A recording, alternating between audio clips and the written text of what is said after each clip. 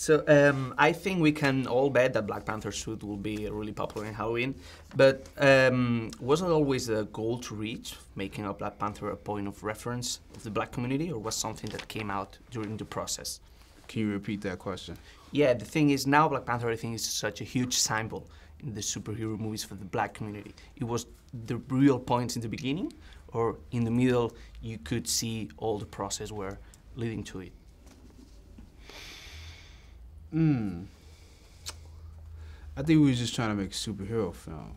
Like truthfully, uh, you know, in, in terms of making a symbol, uh, I, I, I, that's that's not part of what's in my head. I think it is. So it uh, came naturally. Yeah, I think I think it just comes naturally. I think you, you you, you know that you're doing something. If you're doing a superhero, and it's done well, there are gonna be little kids that that, that want to to be a superhero. There'll be adults that want to be this will, will want to be the superhero. Um, I think the idea of it being a symbol is something that you know there's a disconnect there for me. Like like I, I don't understand it. Um, so I don't. Th- I think it comes with it. You know, it's it's not something that you're you're really thinking of. Mm-hmm in a very short time, your character, Black Panther, has become an anchor piece of the MCU. What's the role that Black Panther will play in Phase 4? Can't answer that. You can't? No. Like, you know, we can't tell you anything that's going to happen next. Yeah. Have to try. It's my job. So. Yeah, you, but you looking at me like, why can't you answer it? Like, like you know I can't answer it.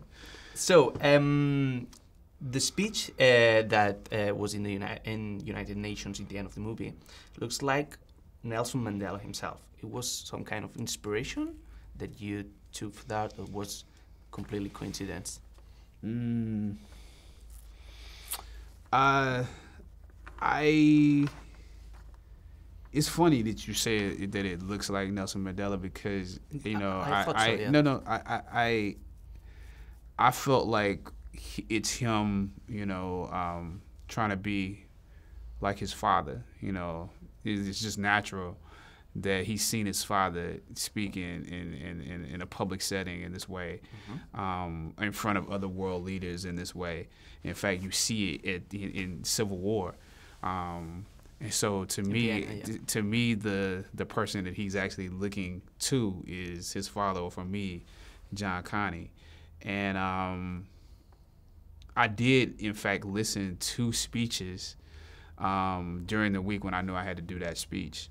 Uh, so I did listen to Mandela's speeches, but oh. but but but Mandela's doesn't sound like that. Like oh, his, yeah, his, it was his, just an impression his, about his his voice. It's like it's not a Mandela impression, um, and, and I don't think it's necessarily the way he gives speeches because I also listened to to Malcolm X speeches, Martin Luther King speeches, President Obama speaking, you know, um, just trying to get a sense of what it, it's like to be a world leader and, and, and talk to uh, people in that way.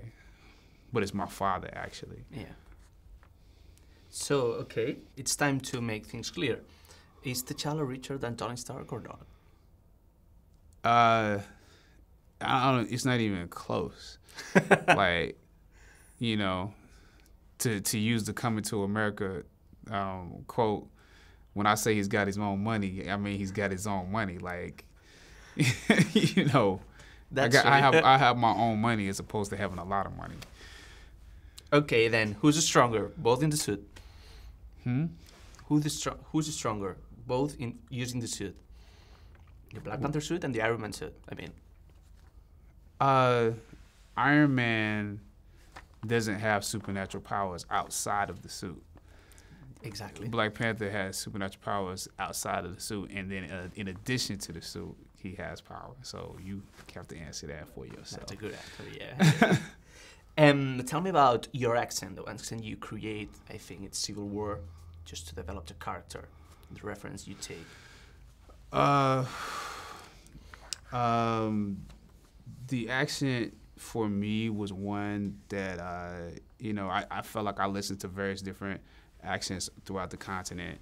Um, I ended up uh, with a, a, South African uh, dialect um, because I felt like it allowed me to play uh, the protagonist a certain way, to, to speak softly, carry a big stick. Um, that he didn't have to necessarily speak loud to show his power. Um, there, there could be some sensitivity there, um, melody in, inside the language. I found a, a, dialect coach in South Africa named Adile Nebuline, um, and also with, with you know Marvel's in-house um, uh, dialect coach Beth for this as well.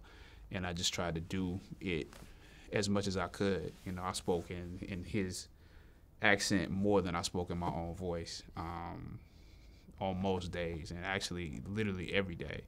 Um, you know, it's rare that my family and friends would talk to me during that time period and hear my voice.